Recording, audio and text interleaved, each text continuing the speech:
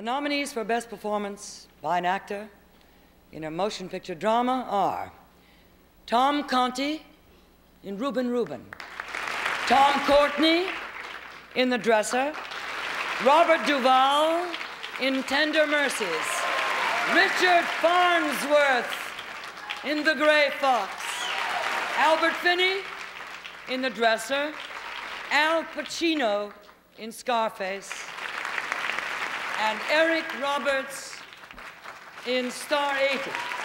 Tie. My God, it's a tie.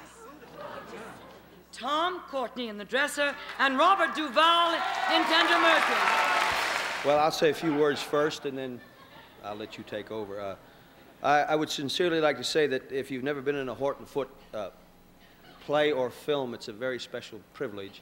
It's kind of like going home to your grandmother's farm in Virginia, or similar things like that.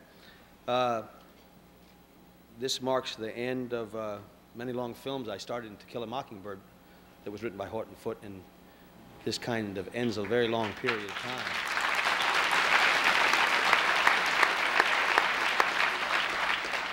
Also, I'd like to thank everybody that, uh, that uh, helped make this film possible. Uh, you know, the director, the producers, the, of course, Horton and, and EMI.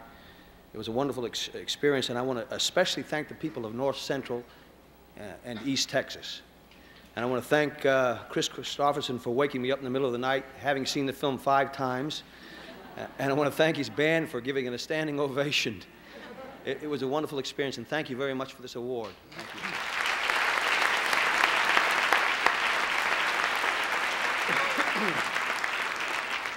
um, I wanted to receive this, uh, this award on behalf of Tom Courtenay, and I know that Tom would want to, say two, want to thank two people.